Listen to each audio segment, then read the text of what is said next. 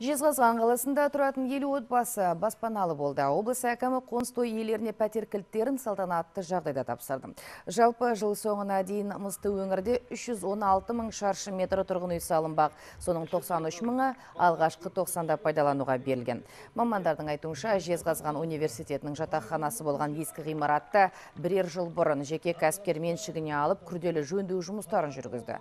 Ал былтыр бұл 72 пәтерлік үйдің 50 пәтерін жергілікті билік сатып алған. Ол үшін республикалық қазынадан 296 миллион теңге қаржы бөлініпті. Облыс әкімі ағымдағы жылы тағы 15 пәтер сатып алу үшін 95 миллион теңгенің бөлінгенін айтты.